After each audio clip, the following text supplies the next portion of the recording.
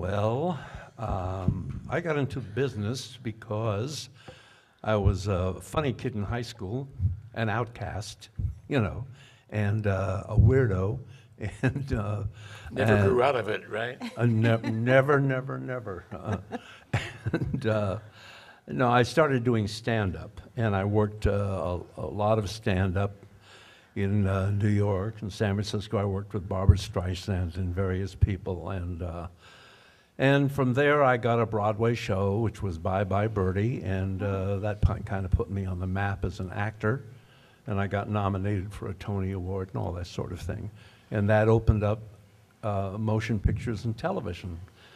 So a lot of the people uh, knew me from television, but they didn't know that I did voices and things. And uh, those I did in my, in my nightclub act. So I, I pulled them out, you know, when, when uh, I started doing uh, that, and I, and I made a tape. Now, the thing is, you'd think I would have an edge because they knew me as an actor, but I really didn't. I had to prove myself, like everyone has to prove themselves. And one of the problems I, I find in making a tape, it used to be okay, but now with the engineers and what they can do, they can make you sound like you're doing a, a multiple voices, and you don't really have to do anything. So it's got to be a clean track without a lot of fancy, fancy cuts and editing, and, and, and no tricks from the engineer, so they know that you can really do those, because they might challenge you on it, mm. which is what they did to me. They called me into Hanna-Barbera, and they said, okay, I want you to read this story. And they gave me a story to read, cold. And while I was reading it, they said, okay, now what if a Russian was reading it? So I had do a accent as I was speaking, and they said, now what if he's older? I said, oh, if he's older, then he's like this. And what if he's younger? Okay. And you have to be able to very quickly go from one voice to the other, like you're arguing with yourself successfully, you know? And, uh, and they really put you through it, man. So, you know, you've got to be ready. You've got to uh, have it in your head the voices you do that are successful. You know, you've tried out on your friends and stuff. And, uh, and you take those sounds and those voices and you write yourself a script. Now, it could be the Three Little Bears, I, I don't care what it is. And you take this script and you rehearse it and you rehearse it and you get it down and you know which characters are which. So they, if they throw you a curve, you're going to be able to deal with it. And that's what they want someone who can deliver on the spot and deliver professionally without any problems. Uh, you think that's fair, Jack? I, I don't recognize any of that. No. well, as I said before about sexually available, that's how Jack got in. Is it my turn in the barrel? I think it is. Well, I was always a good joke teller when I was a kid, and I could make my mother laugh. And when you can make the goddess of everything laugh, you know, she's less likely to take a swing at you. And uh, I would, as I got older, I would tell off-color jokes to my mother, and she would, "Oh, Jackie, you're you're awful," and but she still laughed. So that was good. And so I, I, got in the habit of you know, telling jokes. And, and then a, a, a production company came to, I lived in Berkeley, California. A production company came to town. I, I was like maybe 10 or 11 years old, and they were looking for 12 year old boys to uh, be in a movie. And my mother sent my older brother, and she sent me to accompany him. And he didn't want to do it, and I did, but I wasn't old enough. And, uh, and I thought, damn, and I, I always kind of kicked myself in the butt for not going and lying about my age. Uh, but uh, later on, uh, I, I decided I wanted to go to Hollywood and be a movie star. And I was going with this girlfriend, uh, Lynn McTavish. oh, she was great. And Lynn. McTavish. That's what everybody said. I, I never, I didn't get it, but, uh, But as I'm graduating from high school, her mother said, Well, now that you're getting out of high school, what are you going to do with yourself? And I said, I'm going to go to Hollywood and become a movie star. Said, Oh, God, you can't do that. That takes somebody special. Or to get real. What's the matter with you? And, and I thought, Ooh, that's a bad thing to say. So I quit telling people. And I just, I, I sent my money home. I was going to go to the Pasadena Playhouse and become a movie star. And I sent money home for my, I was in the Army, sent money home to, for my mother to take care of, to put it in the bank for me. And when I got home, I asked where the money was. And she said, Oh, I'm sorry, honey. I had to spend it. And I'll pay you back. I said, Mom, you have no talent and no job and no prospects. How are you going to pay it back? Well, I, I meant well. Uh, okay. So I went to San Francisco State and uh, majored in radio and television. And this was in like 1955, 56. And the state of television was so in its infancy.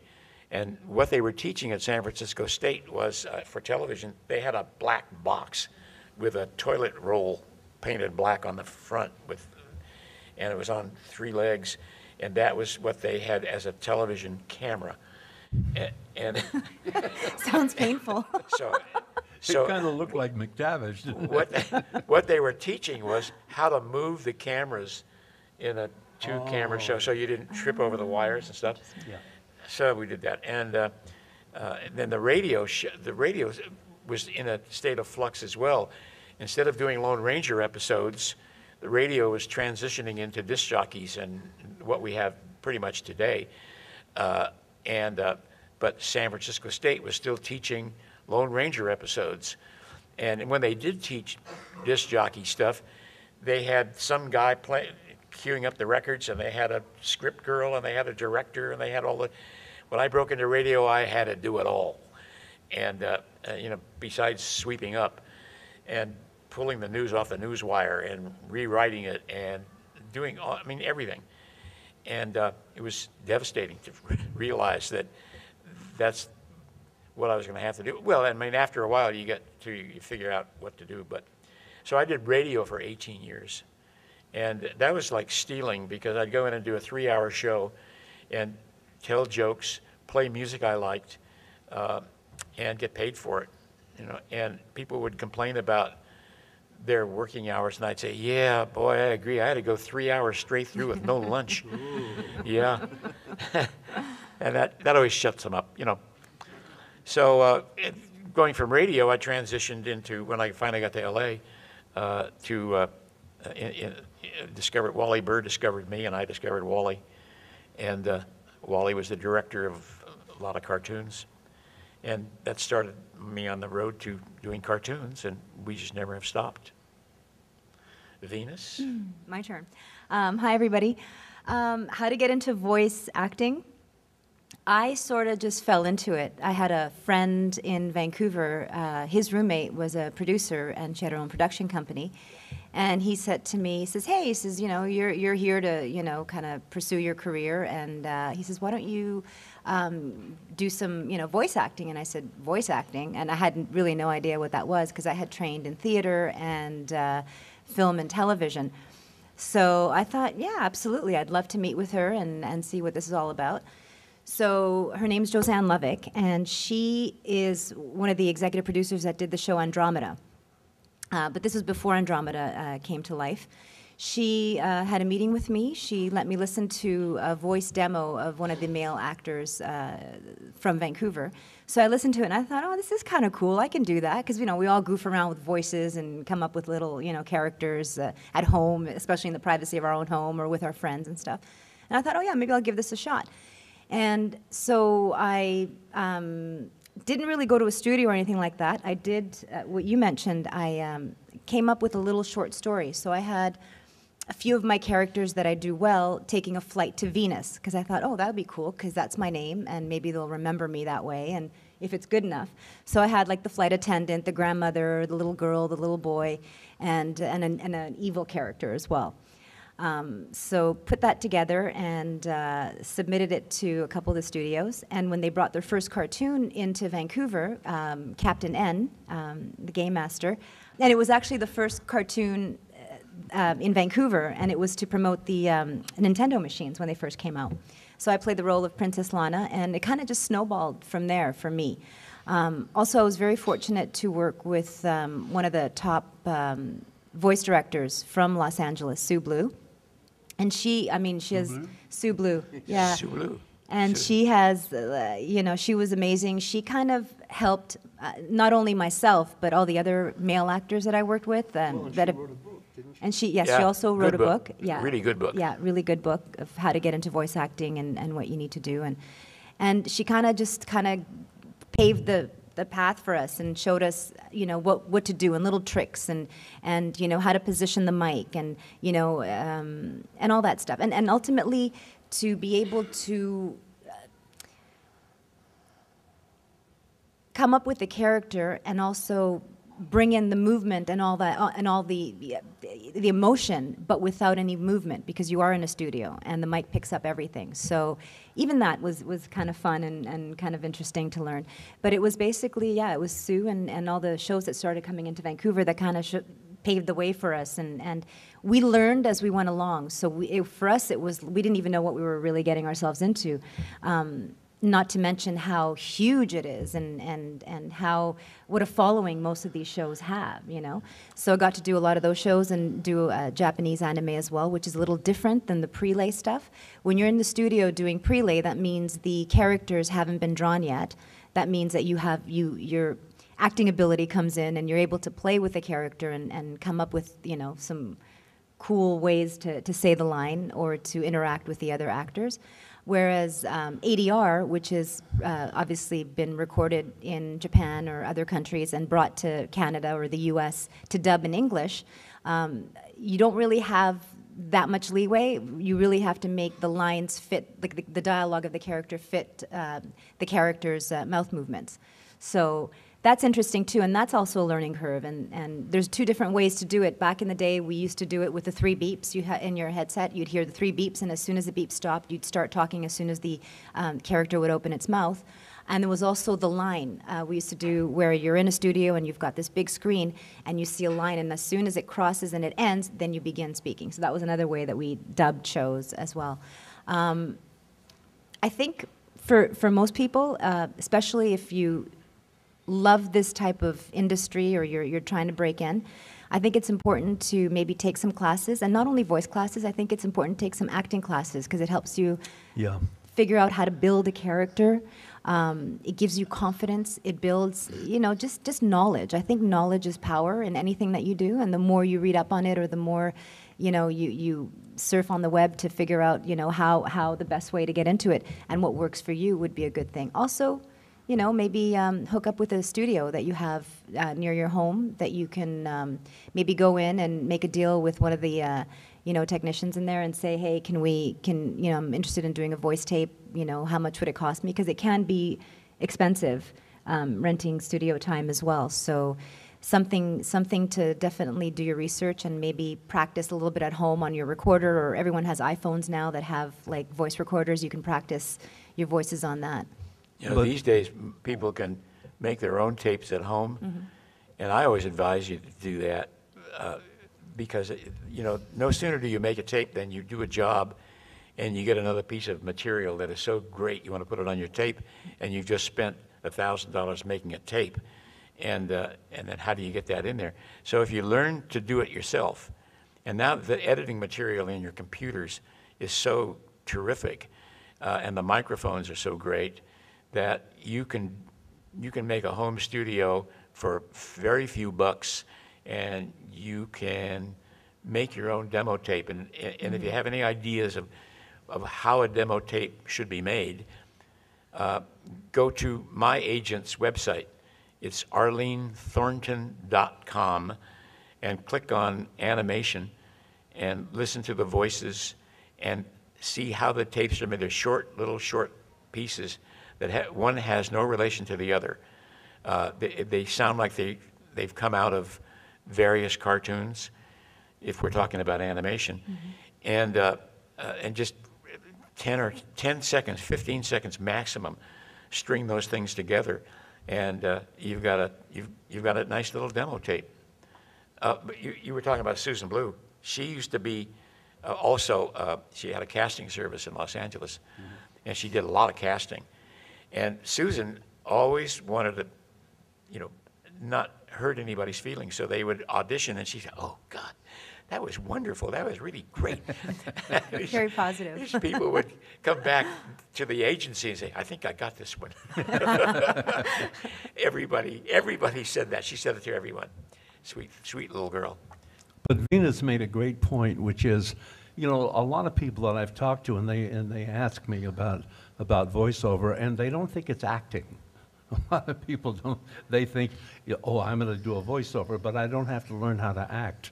And you really do ha- know how, have to know how to do that. Yeah. Andrea Romano, who is the casting director for Warner Brothers Animation, Yeah.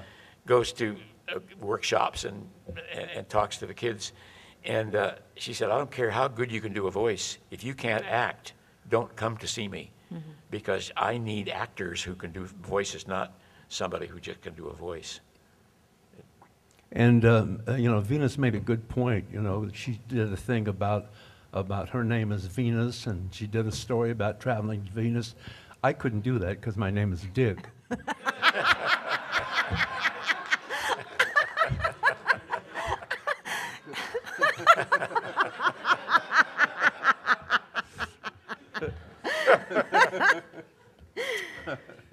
Yeah, that's right, Dick. But, but do you guys have any questions that you, you'd like to pose? that's so And- and. Maybe one of us can come up with something that would work for you? Come here, give me that. Anyone? Yeah. Probably the easiest way to do this would be if people came up to the mic, like you were doing. Yes. Uh, Thank you for coming, first of all. Uh, It's a pleasure to meet you for the first time. Um, My question is for you, Richard. Yes, sir. Dick. Thank you. You played one of my favorite characters in in G.I. Joe, and it was Serpentor. Yes. Were you told to play it over the top every time? Yes, in fact, what we did is we defined Serpentor as a really bad Shakespearean actor. really. And he said, that's the way I want you to play it. So if I went, this I command, it was like really hokey, you know? And, but that's what they wanted. And, um, No, that's so- really his style of acting anyway. That's right. yeah. I did that on Love Boat, and they fired me. Oh, no. Uh, but but really, no, I, no, I was directed that way, and, and, and the bigger the better. In fact, uh, it was Wally Burr who directed me for for the movie, and uh, I had to do it all in one day, and I screamed so much as Serpentor that I lost my voice for like a week or so. The, the other thing I was going to ask is like you had such a good back and forth with um, Chris Latta um, when you Oh two yeah. did oh, he was great. Did you pl- find that you played off better when you're all in the same Room. like, room as opposed to doing it like Oh, uh, A- absolutely. ADV type? Absolutely. Yeah. Because you, you, you get energy from the other actor and you can react to, and you're really reacting instead of saying, okay, now he said so-and-so, now I have to react, you know. No, it's, it, it's much better and you have a a better f- performance and more honest performance that way. Wonderful. Um, did you ever try and throw everybody off uh, of their game anytime you guys were in the same room? We did it all the time. didn't we? Yeah, all the, all the time. Yeah. No, we, we honestly had fun, and sometimes we would, uh, we would hang up things just by, uh, hang up, you know, the, uh, the festivities just by, by kidding around.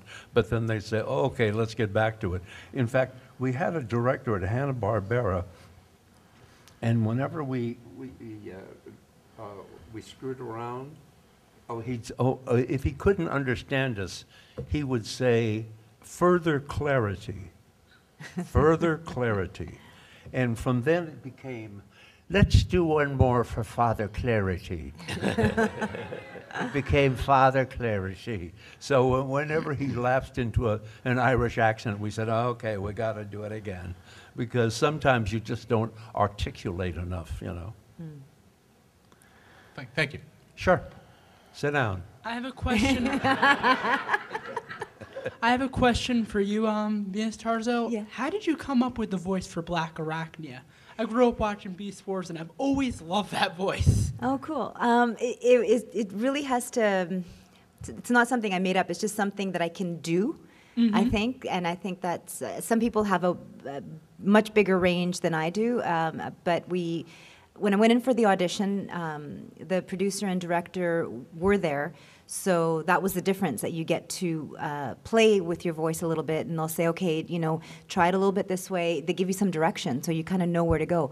A lot of the times, you do come up with something specific because when you read the character description, it kind of gives you an idea of, okay, this is, you know, who this character is at the moment, and and what can I do? Like, how can I, you know, manipulate my voice to to to come up with you know that particular voice for that character. So it's it was just working with the director and and really you know um, not really caring what you look like when you do it because it, it does it can look bizarre. I mean some people do voices just by manipulating their their face like their mouth or whatever like they'll stick their mouth out like this you know what i mean? Or they'll like you know bring it back here you know? So I, it just it really it really depends. And, and you just have to be like open with it and try different things until you, that you get the sound that they like and that works for them. And you mentioned something earlier, Richard, that um, with the screaming, a lot of times on these shows there is a lot of like yelling and thumping and you know sound effects. And for that, that's that's called like the Wallace sheet. And we have to do three different times, like say like like ow, ow, ow, right? And you have to keep doing or scream or whatever. And we usually keep that till the end of the show because you can lose your voice from screaming, or it doesn't matter how much you warm up. It's sometimes it's just really hard on your vocal cords. So, yeah. Cool. Thank you very much. Welcome. Hello, uh, my question is, uh, I've got two things to say. First of all, have you also found that uh, sort of commercial venues, for example, doing voiceovers for commercials, doing them for corporate training videos, has that been, and do you think it is, a, uh, an option to at least get work and experience in voice acting? Sure. Oh yeah. Doesn't make any difference. Our voice is our voice, and we do the best we can, no matter what it- the uh, venue. Yeah, we do, we do straight stuff as well as doing animation. I mean, I did 10 years of doing Tonight on NBC, you know. and- well, that was me and a couple of other guys, but I mean, we all sounded alike, you know. Uh, but yeah, I mean, you know, anything. We did, remember Trey, did you work for treytech? No, I never have. treytech was an Can org. Do you know anybody there? It's, it's gone. They were so good that they did put themselves out of business, but they, they did uh, business learning books for people like IBM. That's And- exactly what I was thinking, was that those type of things. uh, Yeah, we did a So- lot of those. I actually do writing, and my stuff is, is for the professional environment. I really haven't written anything, you know, for pleasure that's fiction in quite some time. I was just good at it and fell into it. And I do have a suggestion for you, uh, Richard. Uh, Dick. Dick. Yeah. Dick, if you are going to, to, like Venus, make a story about going to Venus, make your story about going to Washington, D.C., as there are a lot of dicks there. Very good. Dick Cheney, for one. Big dick. Hello, my question is for all three of you. Um, during your careers, was there ever a time in which uh, you auditioned for a role or a, or a job and, and that uh, you tur- it turned out to be something that uh, you were glad you never got, or were, there was something that you were uh, very regretful that you never got? Well, I think every job we're turned down for, we're regretful. We're regretful. I have to agree with you on that. Yeah. I mean, you want to win everything. You do. You know, and the- obviously you can't win everything. Uh, And, and that brings up a, a point that I always like to mention, particularly to young actors, is that uh, you, you have a ratio, uh, at some point, you win, let's say it's one out of 10. That becomes your ratio. Uh, So uh, you can change that by, by taking classes or doing other things, but if that's your ratio, you, you can't expect to get more than one out of 10.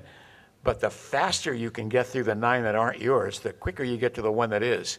So every time you don't get one, that's a step closer to yours, so it's a win. Instead of you experiencing it as- as a loss, hmm. it's, it becomes a, a factor in getting you closer to the one that's yours. You know, a thing that always bothered me was that older actors would tell young actors that, oh, the rejection in this business is terrible. And it's non existent. That's not the game.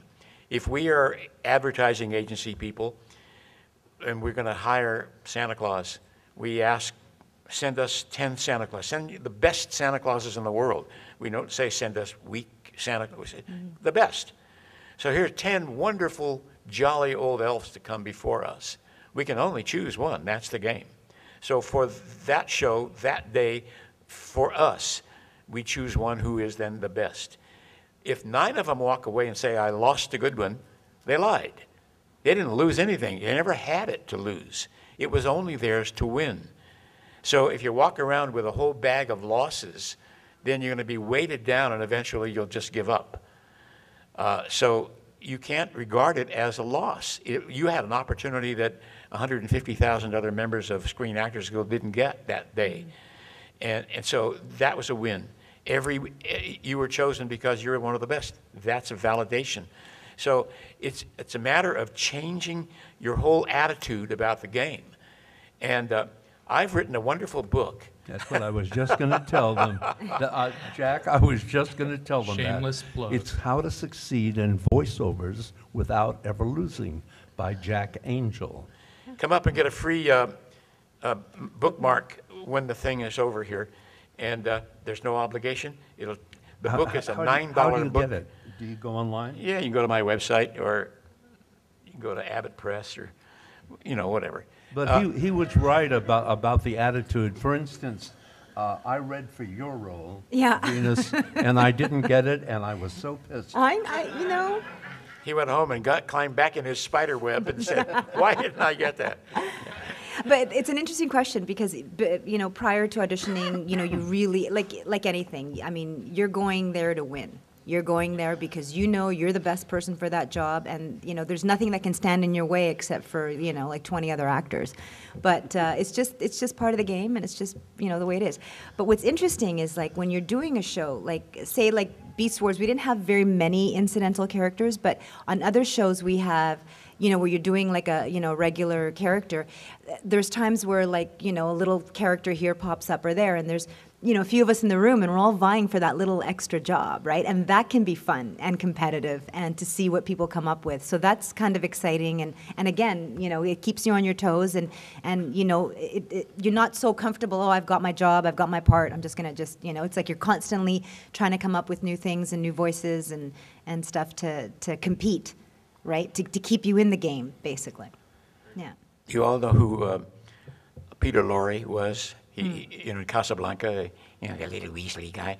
Well, I was in a session one time, and and there were like eight, ten actors, two women, and the guy said, "Who does Peter Lorre?" And everybody, including the two women, everybody did Peter Lorre. Trying to vie for it. I don't remember who won it. Doesn't matter, but Yeah. everybody tried. Yeah. I think it was Peter Lorre Jr. Said I have to go out and choke my car. Thank you very much. Thanks. oh God. Oh, no. I mean, hi, Hi. hi Goober. Hey, what's up? Hey, Goober. You know that you're just two letters away from being a booger. How you doing, Hope no Goober? one figures that out. I used to watch you on TV. I thought you was real good. Okay, ready, guys? Yeah. Mm. I'm going to put you in an unlikely scenario. Uh-oh. Okay. Okay. Rod, uh, Rodimus Prime, Ultra Magnus, and Blackarachnia Yes. have, have just, have just uh, pulled off uh, a, a diamond heist. Um, they have robbed, like, you know, the crown jewels. They're on the run in a high speed vehicle chase from the authorities.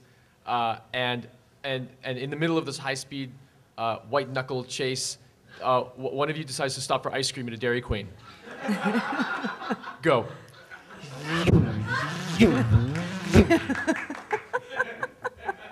Which character am I? I'll, Ultra Magnus, Oh, Optimus Ultra. Prime, Good old Black Ultra, Arachnia. yeah. I Or feel like an ice cream cone. No, I don't think so. And the I- Astrotrain. Oh yeah. You know what I Astro like? I like Rocky Road. Anyone here like Rocky Road? Rocky Road. Well, I, I- I've never knew her. Tell me more. Will you two imbeciles shut up and move it? How do you know I'm an imbecile?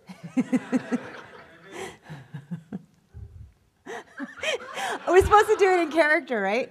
Yeah, yeah, in character, Are you guys not playing along? Where do we get, Derry? And, and have we stopped and then we go? Is that it? you know, I'll tell you, Goober, what you're asking us to do is something we never do. No. We always have a script. Oh. We don't. We don't. Uh, we don't ad lib stuff. I mean, we do ad lib stuff uh, when we're do. screwing around with a script. Within the context But that's already established. but we Improv. we don't we don't fly on our own. We're not. Uh, you know. Really? Yeah. You can't, you can't deal with it. Too much pressure. That's not that. It's, no, it's we don't not want that. to. Why should we? That's cool. Thanks, guys. I get big bucks for doing stuff like that, man. Anybody else have any other questions? Now's the time. Yeah, that isn't named Goober.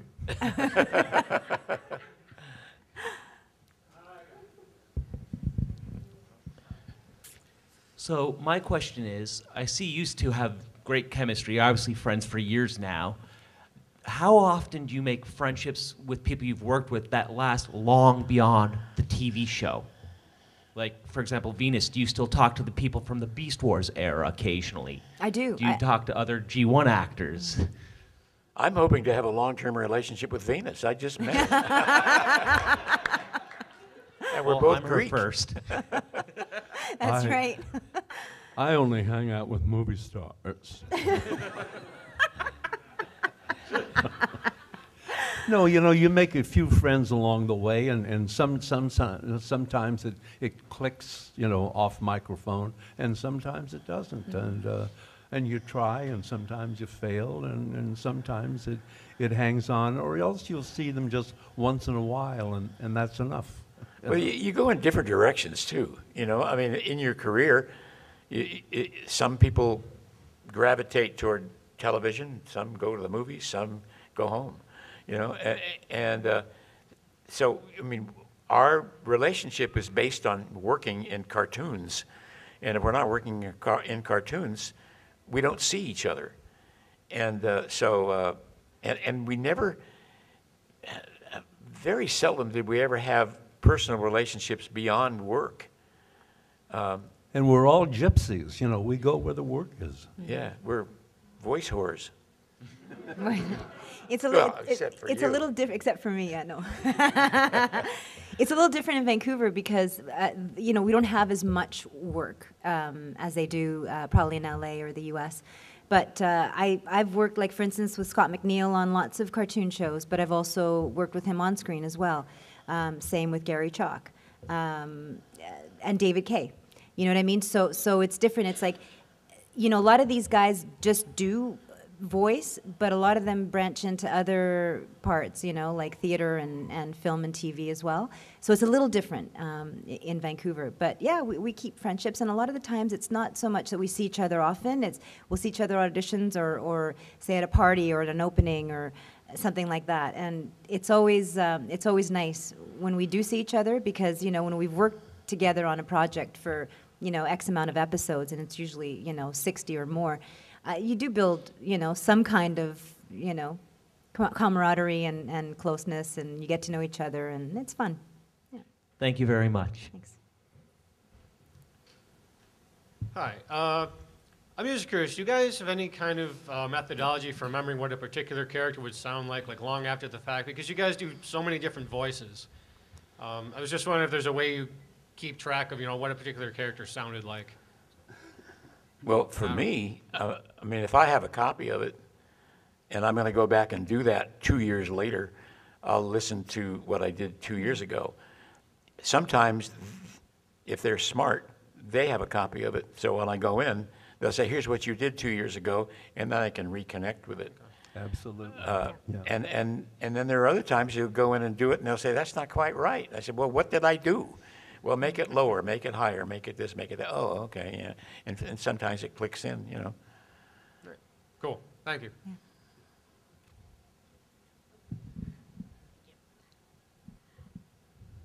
Is that your natural hair color? No. N- Uh, uh, I thought maybe it just grew that way. My question is, um, is there any role out there that you haven't had a chance to play yet that would be your dream role to play? Well, Elizabeth Taylor. A dream role. Yeah, I think it's a Um, case-by-case um, scenario, depending on the project, depending on the story. Um, Are you talking animation or, or any, anything? Anything really, but specifically animation. Like, has there ever been like a character that you loved as a kid that you were like, if I could, you know, play the part of this character, that would be, you know, fun? I think we kind of do that. It's like if if uh, if they ask for a, a, a character, a little Weasley character, I will do my best Peter Lorre. You know, yes, of course, Rick. I need the letters of transit. You know, and, and uh, uh, yes, that's right, sweetheart. I'll uh, I've got him here in my in my valise. No, oh no, this is a Jack Angel thing. Uh, y- you know, I can be all those characters. Yes, sir. I mean, if, I, if, and if, we- if I could be any of the Mel Blanc characters, I would love it. Right. I'd just like to get Mel Blanc's money. You know, I, I don't know. Does that answer your question? Yes, thank you. And Oh. just thank you again, um, Venus, for all your work. And thank you for making me love Jean Grey as well in Awesome. X-Men Evolution. And I look forward to seeing uh, you, Mr. Gautier, and uh, Robin Hood. I love Robin Hood, so I'm looking Oh, forward yeah. to that- checking out that new That's been DVD. re-released, hasn't it? Yeah, mhm. It's called When Things Were Rotten, if anyone uh, You get money for remembers. that? I don't, we'll see. It was just, it was just and thank released you all last for coming week. again. Thank you for having us. It's so sweet. Uh-oh, sorry. Hi guys, and gal. Um, was there ever a role that you didn't get that got away that you really wish you got? Something that you were like, oh man, I really hope I get that one. Uh, you never I- got it, but you're Now, like, again, are you talking animation? any or- any any any voiceover Oh, work in and- general. Oh, any voiceover work. Um, Yes. I uh, auditioned for and didn't get the Budweiser account, and uh, as a voiceover. And it just happened that my wife's brother's best friend was the creative on that account in New York, and he came to L.A. and uh, we took him to the Ivy, a very upscale restaurant, and we were having lunch. And he said, "Oh, by the way, you auditioned for the Budweiser account." Do you know how close you came to getting it? And I said, no. And he took my coffee cup and he went. And I said, really? He said, yeah, there were eight guys in the room. Seven of them wanted you, and one guy wanted Danny Dark. Danny won because the guy who wanted Danny was the boss. Oh, my gosh. He said, now you want to know how much money you didn't make? Oh. And, and my wife said, no. and I said, yes. And he said, well, Darren McGavin had the account for several years prior. He had a million dollar guarantee per year, and every year he exceeded the guarantee. He said, that's how much you didn't make. That's one that got away, and that one was, you know, a retirement maker. That was a, uh, that was a home in Malibu. Well, we have a home in Malibu, but that, That was, that was a bigger home in Malibu. it would, yeah, it would have been a, a much bigger home in Malibu. The Uh, one I lost was for uh, Jack in the Box. Yeah. A lot of guys read for the voice of Jack in the Box. And I was about, with about five or six guys, because he was kind of like a smart-ass character. So it was good for me, because I played a lot of those guys, you know. Not even acting for you. That's true. and, uh, and, uh, and anyway, I did not get it, and we found out who got it was the guy who created Oh, yeah. the whole, the whole The guy that does the voice of Jack Yeah, is, he- is the creative on it, and he put himself on it, and And, and made a million dollars. yeah. Yeah. 'cause Now, there, wa- there was another guy that did Lexa. What was his name? Uh, Rich, Richard. Uh, oh God. Uh, Lexus ca- came out, and there was one guy. That, oh no, see it now with your Lexus dealer. Oh, right, right. He did that for years. A- And uh, uh, he was the only guy that ever did it. And then they decided they want to go a different direction, and they did for about a month, and they didn't like what they did, and they went back, but this guy, in the meantime, had taken uh, a job as doing announcing for Mitsubishi, which was kind of like, you will go from Lexus to Mitsubishi, but what are you, trying to kill your career? And, and, and they wanted to go back to him, but he'd already had now uh, Mitsubishi, so they couldn't, so they hired uh, Maurice LaMarche. And Maurice LaMarche is currently the voice of Lexus. And he sounds pretty much the same as uh, the other guy did. you know. Maurice LaMarche is amazing, you know? He does uh, Orson Welles, I mean, God. Well, he does- Yeah, I always call him Mr. Welles when I see him. He's really, he's really wonderful. I, I I met him down in L.A. and he came up to me and introduced himself and he said, "We're both from Canada." And I said, "Well, I'm sort of from Canada," and uh, and he said, "Well, I've I've come down to to try to become a, a voice actor." And about three years later, he was beating me out of everything. Yeah. it's true. Yeah, he's brilliant. Yeah, he is. He and and Frank Welker. My, my dream job would be uh, prime time, 8 p.m. time slot, Simpsons, 20 year run. Um, that would be my dream job. Yeah. Because it's so much fun doing voice work, uh, especially when you work with a great group of people, and and they probably make a hell of a lot more money than we make doing our voice. you know what I mean? It, it- it's just huge, and and to be part of something like that would be a dream come true. You know, you know, we're we're in it for the money. We're in it, we're in it for the fun of it. For the fun and the w- money. because we enjoy it, but we're also in it for the money. Hmm. And Like you know, any and, job. and Right. a- another dream job. I I, ha- I did NBC promos for ten years, but the primary guy at NBC at that time was Danny Dark, the guy that beat me out for the Budweiser account. But he's a, he was a good. You don't guy. like that guy, do you? No, he was a good. He was a really good guy, and uh, he's now taking a dirt nap. But he. Uh, Well, that answers that. I don't think so. But he, but Danny had the NB, the primary NBC account for 10 years, more than 10 years, I guess, 15 years. And uh, he was getting a million dollars a year just for going in and doing, you know, tonight on NBC and whatever the promos Isn't were. amazing? And he bought a house in Malibu, oh, mucho grande, a wonderful house on the water, two stories. Lindsay Wagner lived downstairs. He rented the downstairs to her, and he lived upstairs. And Lindsay had a dog that used to crap on the beach, and he and and he couldn't stand that. And he also, Danny played the trumpet, and he would play the trumpet, and Lindsay would call him and say, "Danny, I have an early call. I can't. Can you please not play the trumpet?" And so Danny decided he didn't want to have anybody living in his house. So when Lindsay's uh, uh, lease was up, he didn't renew it, and he created the whole house, a two-story house. He lived in the bedroom, the living room that was upstairs, made into a bedroom, and it was a great place. But he did that was, you know, on on the residuals, not the residuals, but on the on the session fees for doing promos for 12, 15 years at NBC. Uh, I, I mean, I made, uh, I- I guess, about about 150 grand a year just doing pickup stuff, you know, uh, and the stuff that Danny was too lazy to come back from Malibu to do. And uh, and there was another guy that was ahead of me. He, uh, this guy uh, made a, a half a million bucks a year doing the stuff Danny didn't want to come back to do. And I got, I started doing the Tonight Show promos when Carson was on. They had never promoted the Carson show. And once they did, the ratings went up. Gee, big surprise. Interesting. So they wanted to do it all the time. And this, this second guy, Jerry, he begged off. He said, "It- it's my dinner time when we have to do that. And I, I, I don't want to have to come in and do it. Can we, can you get somebody else? So the guy called my agent and my agent started listing off guys and he got to me and he said, oh, we know Jack. Yeah, he's okay. So that's how I got 10 years on NBC. We know Jack, he's okay. And, and, and I went in to do the Tonight Show every, every night, and then they'd say, well, there's, there's some other stuff that we need, so when you're through here, go into the big room and do that. So it was 10 years. And uh, So they didn't pre-record? You had to go in every night to, to, Every night. to sit, Yeah. to mention the guests and stuff and who was on the show, I guess? Yeah.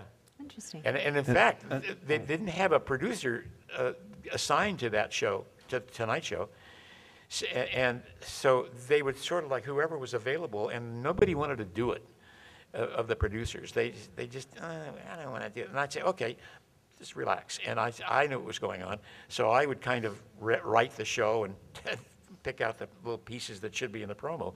So for, for th- three years uh, that Carson was still on, uh, I did, uh, uh, I did the Tonight Show promos and pretty much created them myself.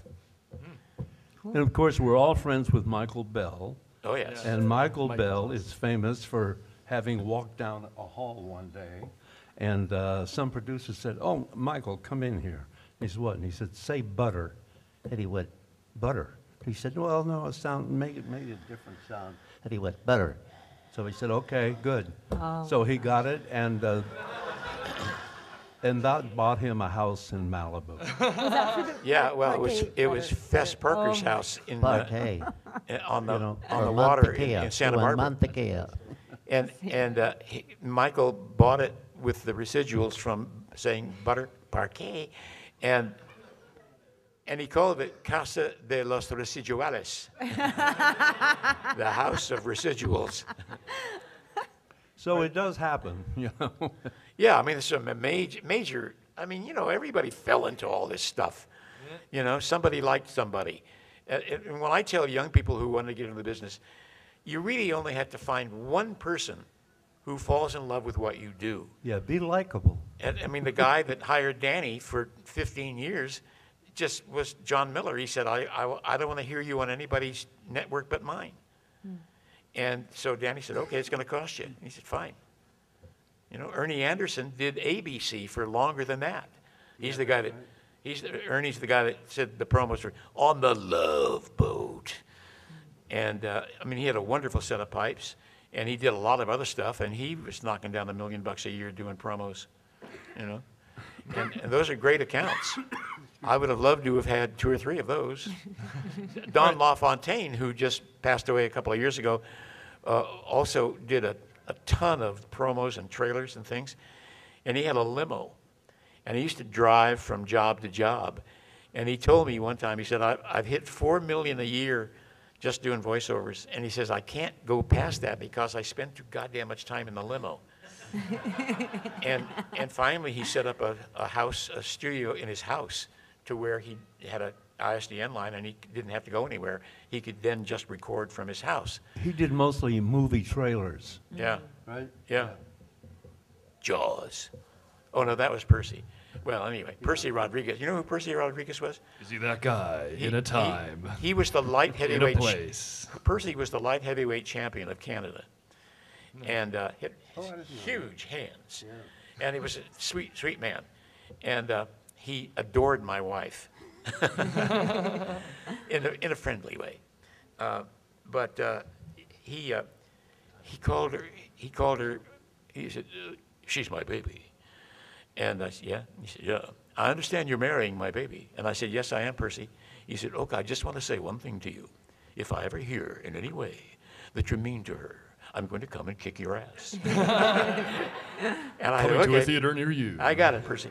So we were, we were going to throw a party about a year later, and we called him, and he didn't answer. He was, his, the machine picked up. And uh, called again, machine picked up. So, uh, and Arlene was saying, uh, yeah, uh, uh, Percy, give me a call back, give me a call back. So finally, when he got back from Canada, he called. He said, what's the matter? Is he mean to you? You want me to kick his ass? no, Percy, we want to invite you to a party. he really wanted to kick my ass. I know that feeling. All right, thank you guys. Uh, Thanks, you thanks for coming. Are we done? So Come and get your bookmarks. Anybody who Yes, get wants the one. bookmarks.